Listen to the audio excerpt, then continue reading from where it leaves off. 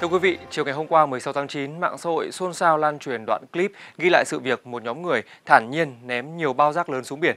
Theo thông tin từ báo Phụ nữ Việt Nam, nhóm người này là nhân viên của quán cà phê Haven có địa chỉ tại số 1 bis Trần Phú, thành phố Vũng Tàu. Hành động xả rác bừa bãi của những nhân viên trên được chính những khách hàng của quán ghi lại vào khoảng trưa cùng ngày và đăng tải lên mạng xã hội. Theo nội dung đoạn clip, nhóm nhân viên gồm 3 phụ nữ mặc áo đồng phục xanh cùng nhau kéo những bao rác lớn màu đen để ném xuống biển. Bao rác có vẻ nặng vì phải hai người phụ nữ mới có thể đẩy được xuống nước. Những bao rác bị sóng đáy bục vỡ làm lộ ra nhiều rác thải bên trong. Sau khi ném những bao rác xuống biển, nhóm nhân viên này còn dùng một chiếc xào dài để đẩy những chiếc bao ra xa khỏi bờ biển. Nhóm nhân viên này được xác định là làm việc ở quán cà phê Heaven trên đường Trần Phú, thành phố Vũng Tàu. Hành động xả rác đã được khách hàng ở quán cà phê nói trên ghi lại và đăng tải lên mạng xã hội trong ngày 16 tháng 9, gây bức xúc cho cộng đồng mạng. Chị Bùi Thị Kim Vui, nhân viên quán chia sẻ với báo Pháp luật online, Sáng nay, chúng tôi được giao nhiệm vụ thu gom rác dưới biển giặt vào quán, bỏ vào bao đen. Việc này hầu như tháng nào chúng tôi cũng dọn dẹp vài lần vì rác thải từ biển tấp vào nhiều. Chủ quán yêu cầu các nhân viên cùng nhau dọn.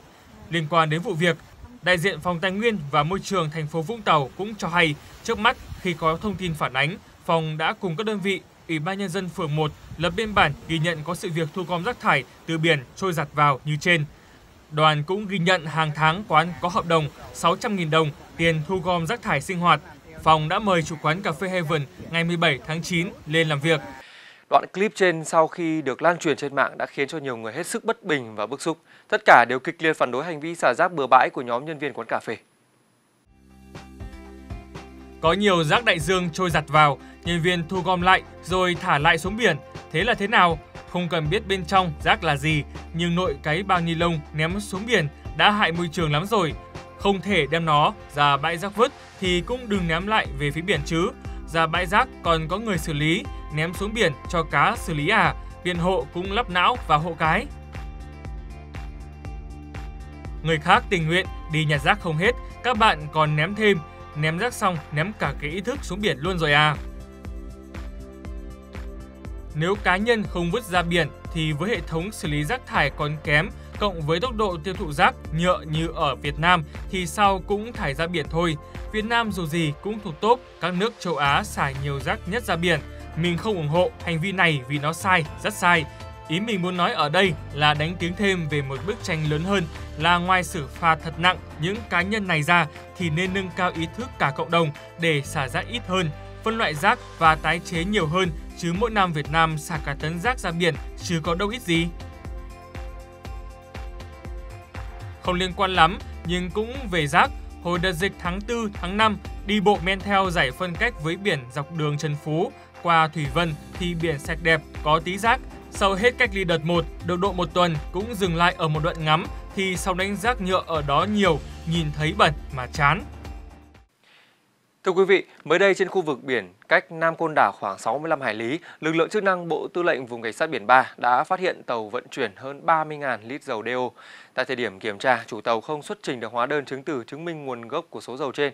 Qua kiểm tra, tàu cá mang số hiệu TG90959TS, lực lượng chức năng phát hiện tàu này đang vận chuyển hơn 30.000 lít dầu DO. Tại thời điểm kiểm tra, thuyền trưởng không xuất trình được hóa đơn và chứng từ chứng minh nguồn gốc số dầu trên. Các thuyền viên gồm 4 người, trong đó ông Võ Văn Hùng sinh năm 1966, thường trú tại ấp 1, Gia Thuận, Gò Công Đông, Tiền Giang làm thuyền trưởng. Tất cả các thuyền viên không có giấy tờ tùy thân, không có bằng cấp chứng chỉ chuyên môn, tàu không có giấy tờ theo quy định của pháp luật. Lực lượng chức năng của Bộ Tư lệnh Vùng Cảnh sát Biển 3 đã lập biên bản vi phạm, dẫn giải tàu về cảng Hải đội 33 tại Côn Đảo để điều tra xử lý theo quy định của pháp luật. Trong những ngày vừa qua, cộng đồng mạng đang chia sẻ một bức ảnh ghi lại khoảnh khắc cảm động mùa nhập học. Đi kèm với tấm hình người cha đang ngồi chờ đợi con phía chân cầu thang là dòng tâm sự khiến ai xem cũng phải cảm thấy bồi hồi.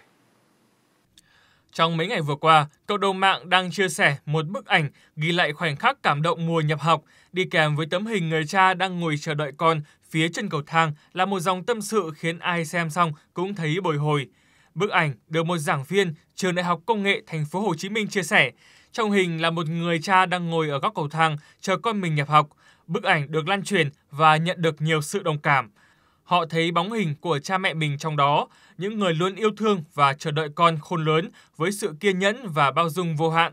Năm nào cũng vậy, cứ đến mùa thi cử rồi chờ đợi điểm thi, nhập học, bên cạnh những bàn tán xôn xao về phương án tuyển sinh, quy chế, điểm chuẩn hay đề thi, thì thứ chúng ta dễ dàng bắt gặp nhất trước cổng trường, quán cóc ven đường hay hai bên phố xá chính là hình ảnh các bậc phụ huynh, những người đang hồi hộp chờ đợi, mong ngóng các con.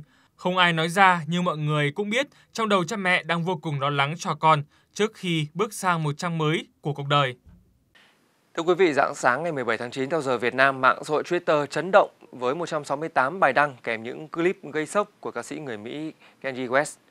Loạt bài đăng chỉ trích các hãng đĩa Universal và Sony. Kanye West chia sẻ rằng anh đã mất hết quyền sở hữu những tác phẩm của mình vào tay của các hãng đĩa nói trên.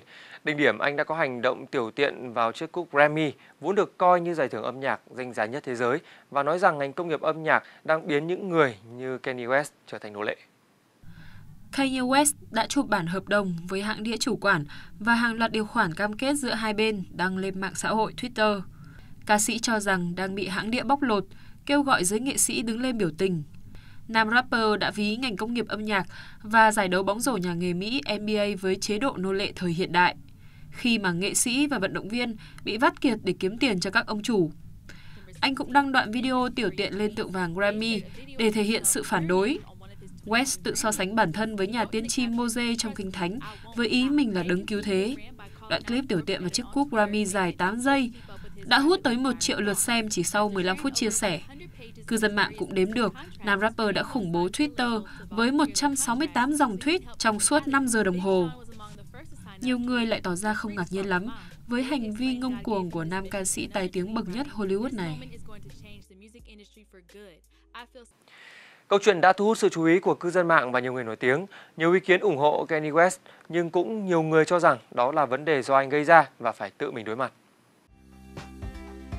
Hãy tìm người giúp đỡ hoặc đi tư vấn tâm lý đi. Thần kinh của ông này có vấn đề thật rồi. Đằng nào thì anh cũng không xứng với giải Grammy đâu. Có tè vào cái cúp cũng chỉ làm cho anh trở nên xấu xí hơn trong mắt mọi người thôi. Mấy bài đăng hợp đồng lên không phải là hành động khôn ngoan đâu nhé. Như vậy là vi phạm sự bảo mật rồi.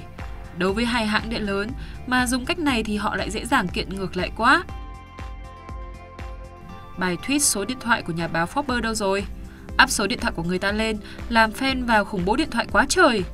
Nhà báo này mà kiện thì Kanye West lại ăn đủ thôi. Trời đất, thế mà tay này còn đòi tranh cử Tổng thống Mỹ. Thử tưởng tượng tay này mà được bầu lên, với cái sự điên loạn như thế này thì nước Mỹ sẽ bị phá nát thế nào nữa? Và thông tin này cũng khép lại bản tin 22 cộng của chúng tôi ngày hôm nay. Xin kính chào và hẹn gặp lại quý vị khán giả trong các chương trình tiếp theo.